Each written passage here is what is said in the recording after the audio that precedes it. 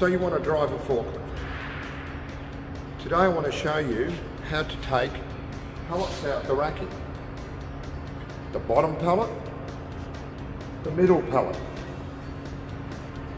the top pallet. I have my own methods on how to do it. I'd like to share it with you. We'll start with the bottom pallet.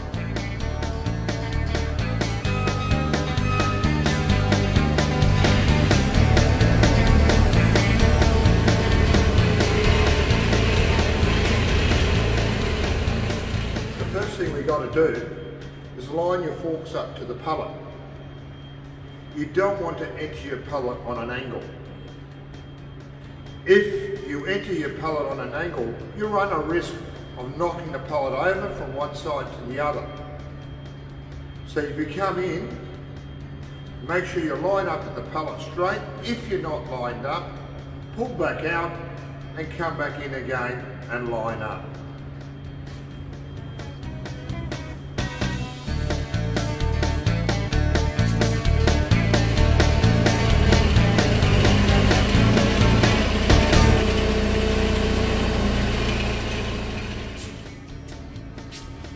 We have entered the pallet.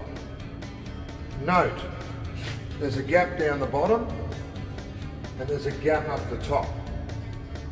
The reason for the gap is you do not want to put the low backrest underneath the pallet. If you go to lift the low backrest up, you'll find you'll end up knocking the pallet.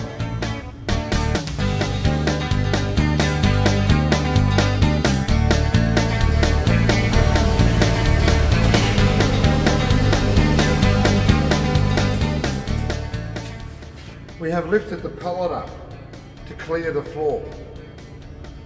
Notice the gap had allowed us to have clearance on the pallet above the bottom pallet. Be careful when lifting the pallet up as you don't want to hit the rack underneath.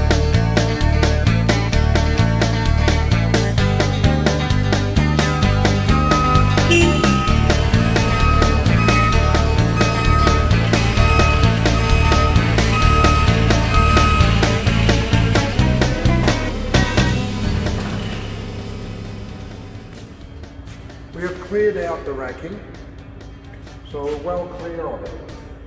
So now we can work to securing the pallet onto your forklifts. By securing it, you drive forward, you get rid of the gap.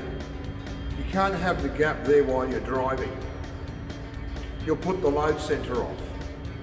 You put the load center off, you've got a high risk of tipping your forklift. We also want to push it in, close the gap, lift it up and tilt back. Tilt back will secure your load on the forks.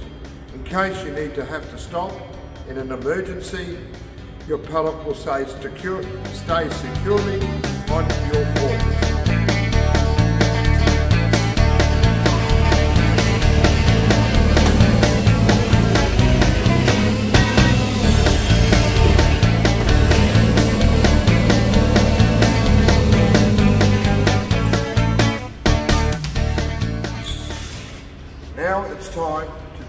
Forklift for a drive through the course.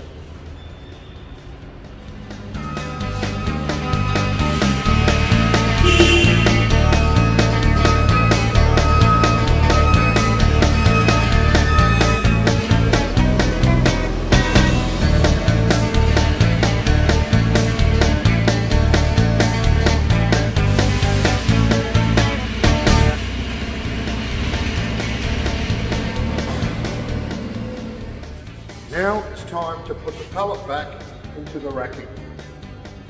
Notice you're pulled up, you're nice and straight, parallel to the line, allowing room on the opposite side.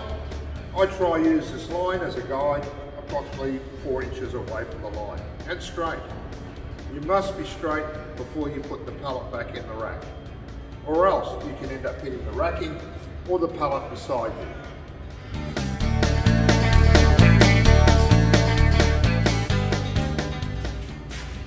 Put the pallet back in, it's reverse of what you did to take the pallet out. So you pulled up nice and straight. You want to level the pallet first, place it on the ground and reverse out to make the gap.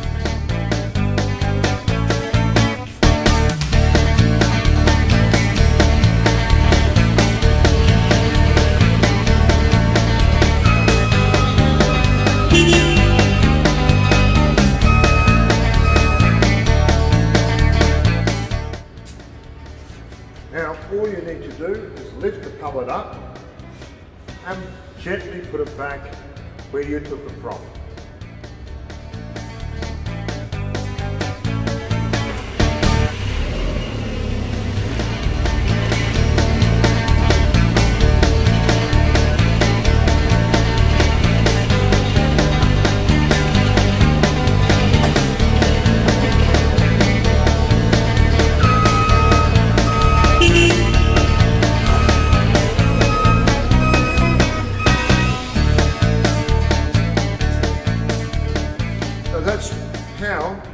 Safely take your pallet out and put your pallet back in to the bottom racking without damage to your racking, without damage to your forklift. Now we're going to show you the middle pallet.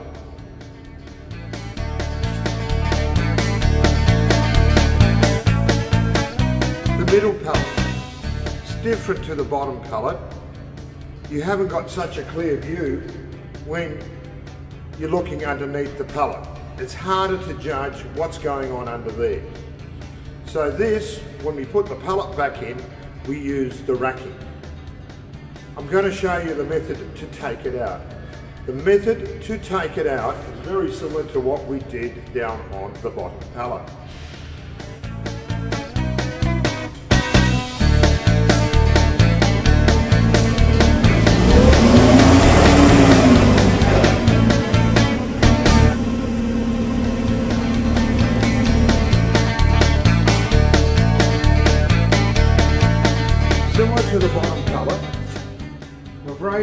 The up, the forks up level to the pallet, the middle of the pallet. We have aligned the forklift up in the first place. We're up in the middle, now it's time to enter. And again, the same thing you did with the bottom pallet, you're going to do with the top pallet. You're going to drive the forks in and leave a small gap at the back, between the pallet and the back of the forks.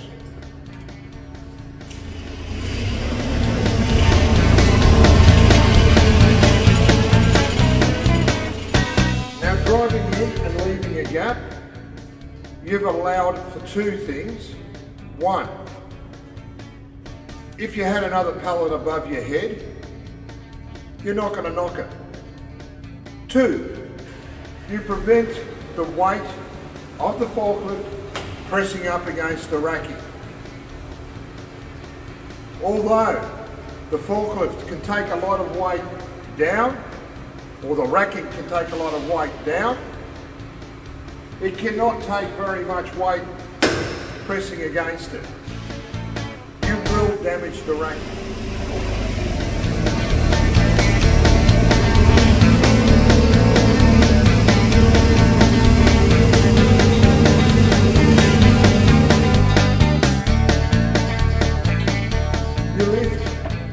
Pallet up so it is clear from the racking.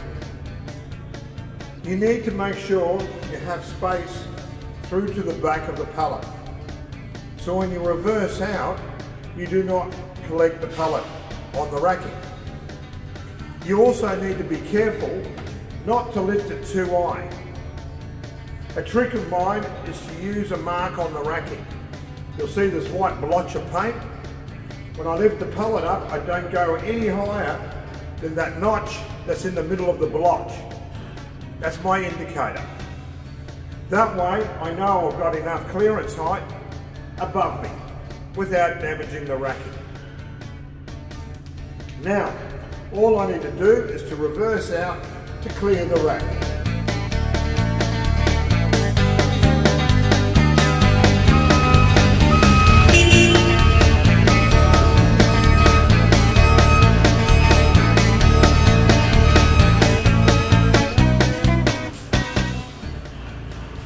Have cleared away from the racking, I have enough room to lower my pallet, to close my gap, tilt my forklifts and do my drive.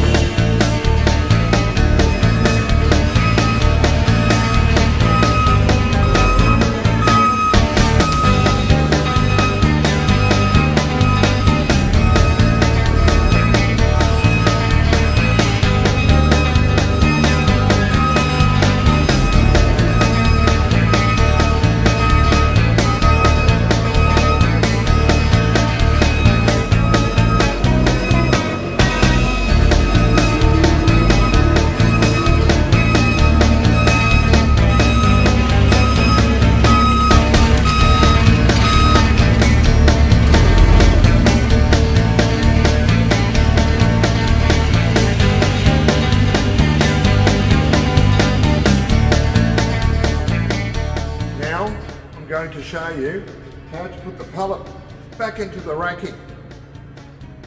The middle pallet is a little bit more complicated than the bottom pallet and the top pallet. I'm going to break it down into seven steps for you. The first step is to create the gap between the back of the forks and the pallet.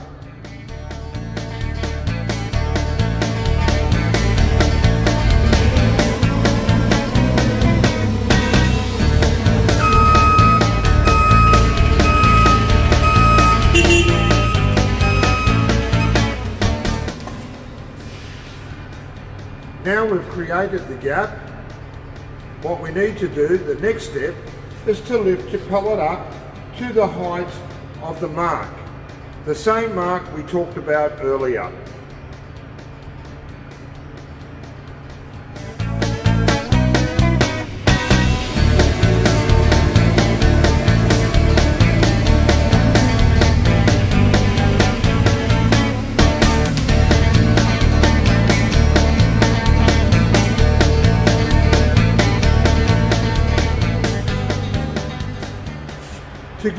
Pallet to this height, look underneath the pallet.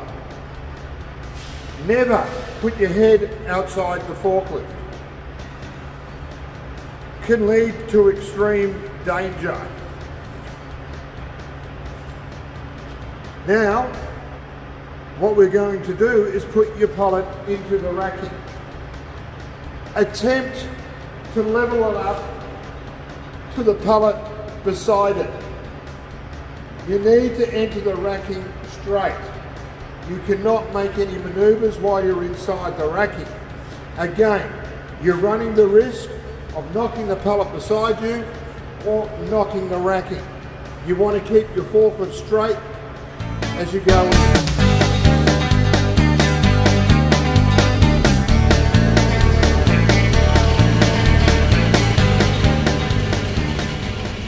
The racking.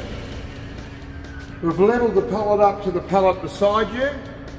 The next step, you need to adjust to the environment that you're in. I'm going to exaggerate the moves so you have an understanding of what to do. But if you have a very tall pallet and you do the same maneuver, you run the risk of knocking the top of the pallet. The next step is to tilt the pallet back. Now remember, I'm exaggerating my move so you can see what I'm doing.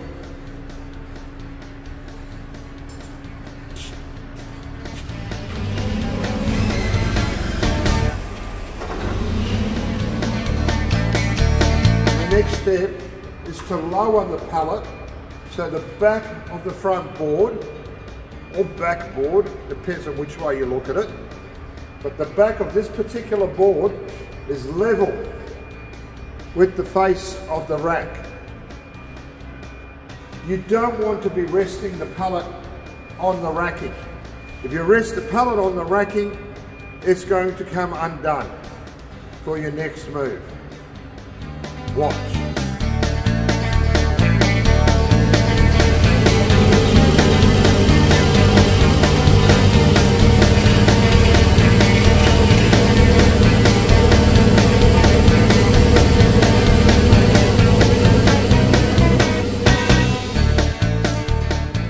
As you notice, we've left a small gap between the pallet and the racking.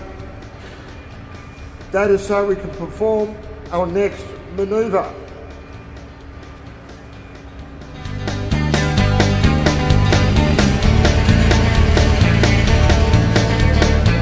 Our next manoeuvre was to move the pallet forward so the backboard is now resting up against the racking. Note, we still have a gap for the forks. That gap there is to preserve the racking. We're not putting the weight of the forklift up against the racking and twisting the racking. So we need that gap there. So that gap is our buffer zone. Without that buffer zone, we could do some serious damage to the racking.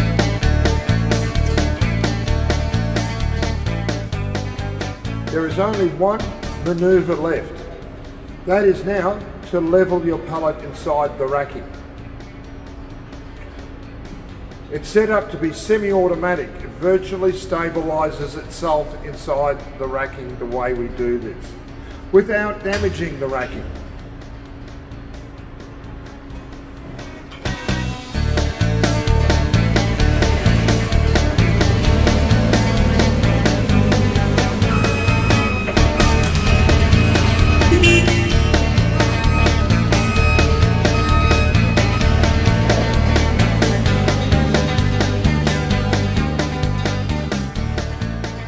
Are now going to show you the top pallet.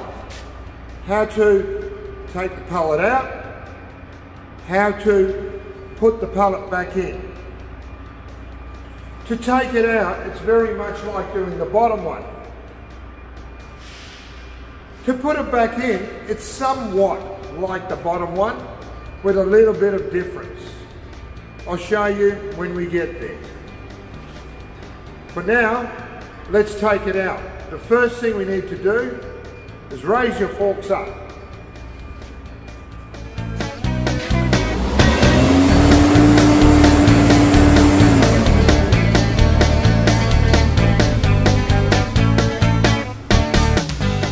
Now we've raised the forks to the top, just like we did the bottom pallet, just like we did the middle pallet, we are going to do for the top pallet. We are going to drive the forks in and leave a small gap so we're not resting the weight of the forklift up against the racking.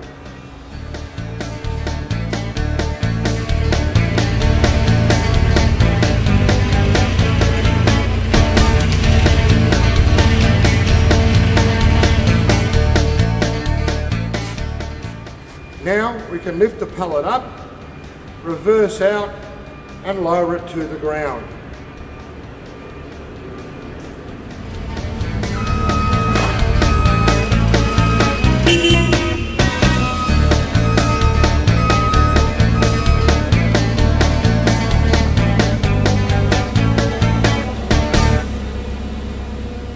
Now the same as we did before, we drive in, we close the gap, lift it up, tilt back drive through the course and come to put it back in again.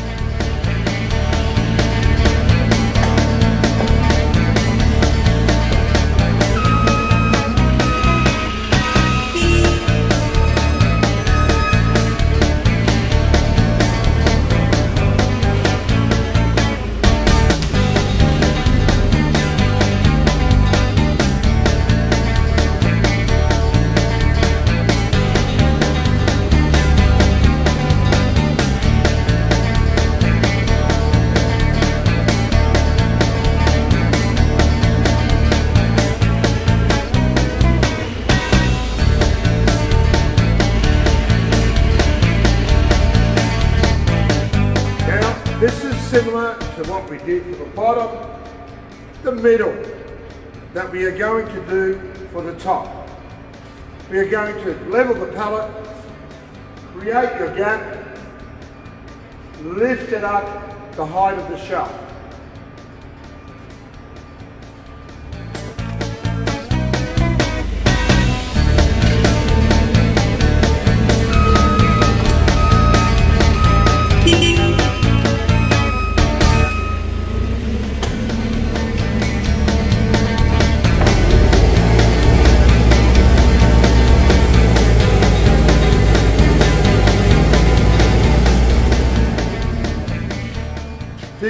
Next part becomes a little bit different than the rest of the pallets.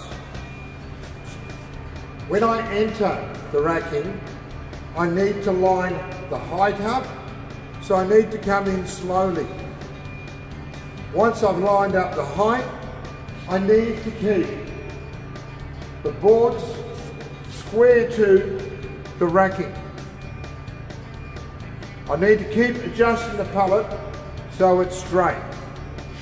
The aim is to line up the backboard, the back of the backboard up with the face of the rack.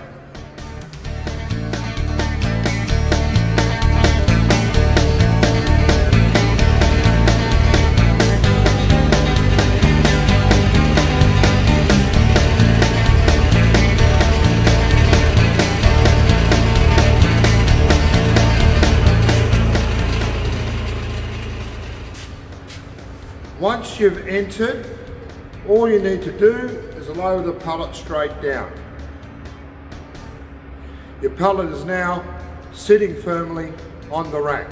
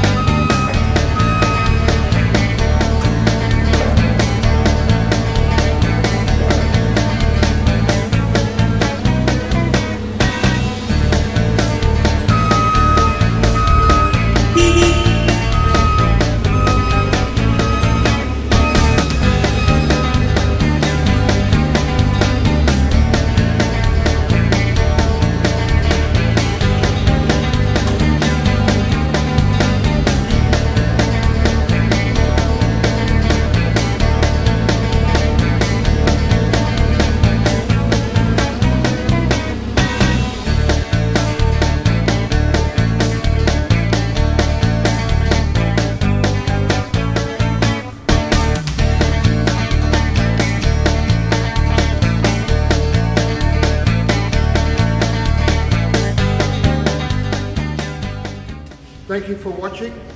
I hope this was helpful for you. I hope it helps you become a better forklift driver.